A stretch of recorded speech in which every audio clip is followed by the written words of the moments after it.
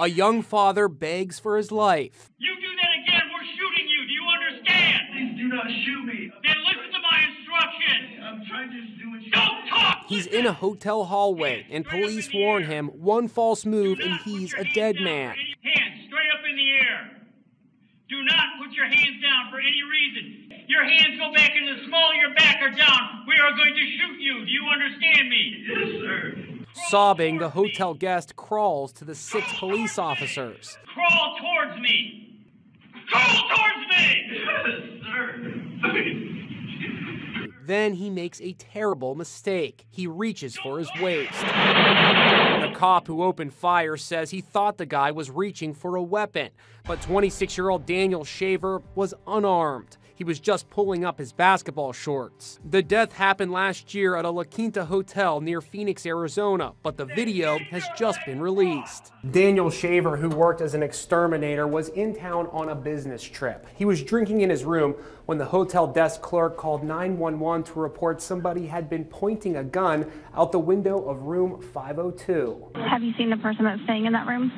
Yeah, his name, Daniel Shaver. When police got there, they ordered Shaver out. Stop right there. Stop. Stop. Get on the ground, both of you. With him was a young woman he had met at the hotel. In the video, Shaver appears confused and disoriented. I said keep your legs crossed. I'm sorry. Police told Shaver to keep his hands in the air, cross his legs one over the other, and crawl towards them. That's not easy to do, even if you're sober.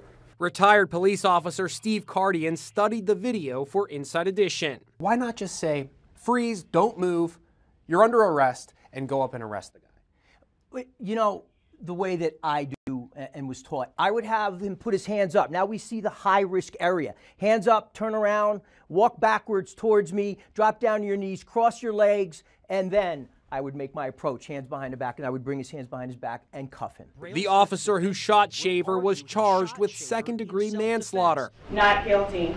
On Thursday, he was acquitted. Shaver's heartbroken wife, Laney, is calling his death an execution, pure and simple. She posted videos on Facebook of her husband playing with their two children.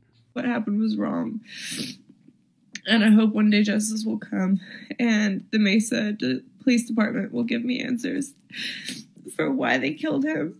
Crawl towards me. Crawl towards me. Yes, sir. The killing took place in January of 2016, but the footage was only now released by authorities.